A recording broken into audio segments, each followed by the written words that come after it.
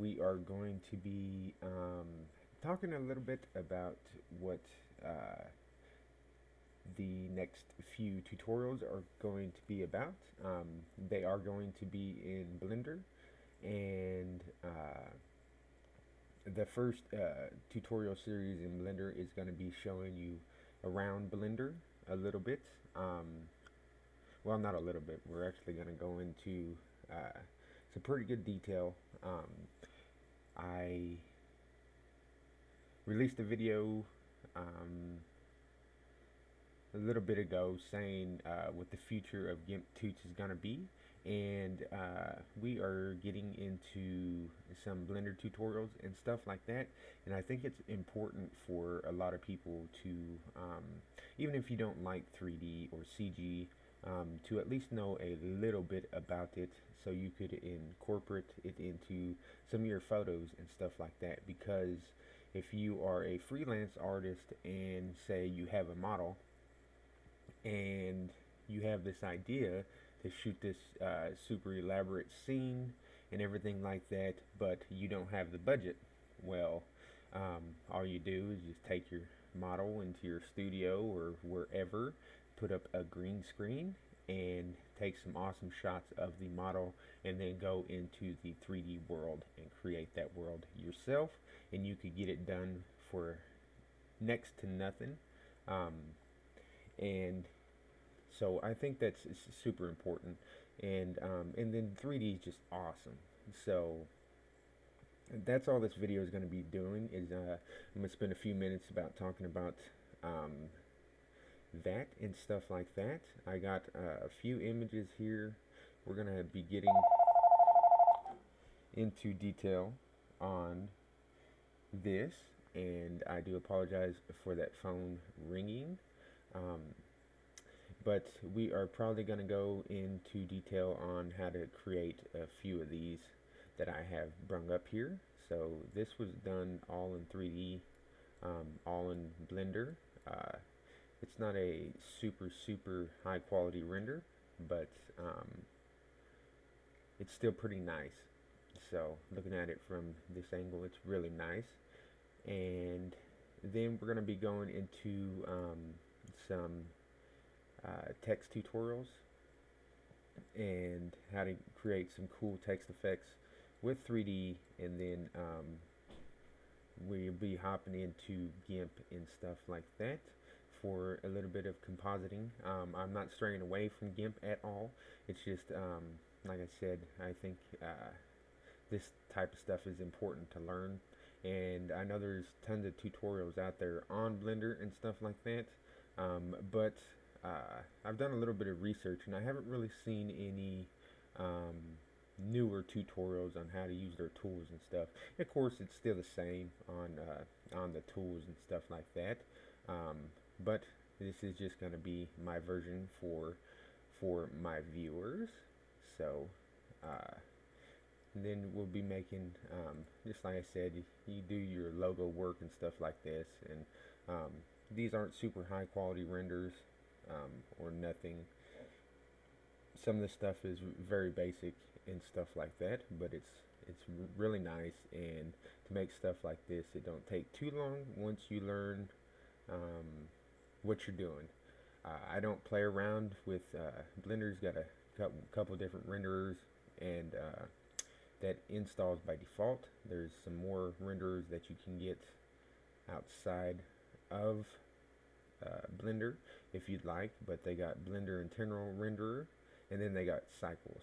And when I first started out with Blender, um, I was using Blender Render a lot because Blender Render is um, a whole lot easier to learn because uh, Cycles is node based. But once you get the nodes down, it's pretty awesome. So we are for a lot of this stuff that we're going to be doing we're going to be working in blender cycles because I think it's important um, also to learn nodes and to get used to to that idea because there's a lot more and more programs out there that's uh, going towards nodes so let's go um, make some uh, clouds these are just some uh, like I said not super uh, high quality renders, but you can make uh, cool volumetric clouds, and we're going to be getting into that a little bit later on. And so, uh, I was going to do some renders of cartoon clouds, uh, like the cartoon clouds you see in like animes or, or just cartoons in general. Um, but uh, I did not have time to do that yet. But when we get into this part of the tutorials, we will make something up. And so, and then here's a super realistic uh, render. Sorry, I have a bunch of programs running right now, and my computer is being being super slow. But um, this is all 3D. This was made all in Blender using the Fluid Sim and Cycles materials, and you can see how realistic that looks. And this ain't a super high quality render either. Um, but if you take a look on the internet, just Google, um, I don't know, wine glasses or or pouring wine into glass, uh, you'll see that the real life photos don't really look too much different. So that's just some of the things that uh, I wanted to talk about. Um, and then as you can see, my uh, background on my computer screen. This is all done CG. This is a whip. This is a work in progress. Um, so it's not completely finished just yet, but hopefully when we get into that part of the tutorials, I will have this all finished. Um, you know, it's the holiday season, and, and uh, I had family come down and stuff like that. So I've been super, super busy. So that's the reason why I haven't been releasing uh, too many tutorials and stuff like that. We're also going to get in, this is just some examples um, on how to make realistic eyes and stuff like that. This is just a short video of that. Um, so there's some pretty cool stuff and hopefully, uh, let's see, let's open up this. Um, we'll also be getting into uh, add-ons and stuff like that for Blender. And uh, this add-on right here is uh, free. And it's super awesome. And uh, you guys if you've been following any of my tutorials you'll have seen this intro. And we're going to get into showing you how that works and some of the awesome stuff that you could do with that. Um, the add-on uh, you makes it super easy to make text intros just like that. So let me get this added here and then we'll add one more here. And uh, this one's got some particle effects in the background and uh, a little bit of flair to it and stuff like that um, again these are just examples of some of the stuff. I just wanted to make a short video before we went into the intro to Blender tutorials. So I'm going to go ahead and close out of that. And yes this is a Adobe program. Uh, save changes new. Alrighty. And let's see I don't think there is anything else. Uh, now we could get to talking about Blender a little bit so if you go to blender.org it will take you to Blender's website and Blender is a uh, complete 3D uh, suite and when I say suite, it's got um, a compositor in it, a video editor.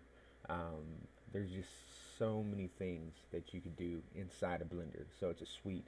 And um, I will say this, there is a large learning curve with uh, Blender. Uh, it's, it's, super more uh, complex than 2D work or learning like things like GIMP and stuff like that.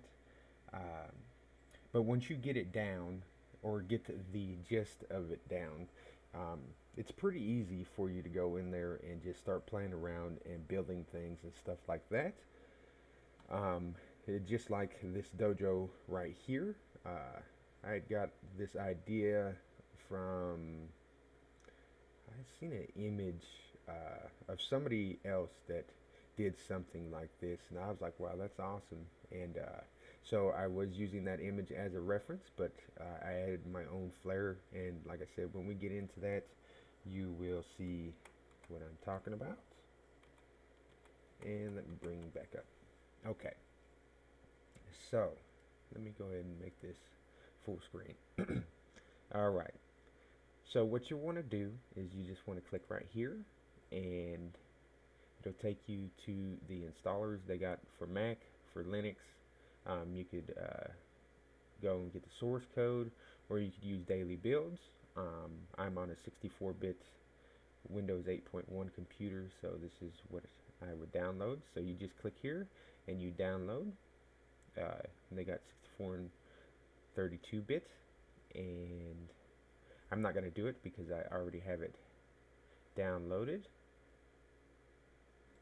And then once you have it downloaded you will get um, a zip file.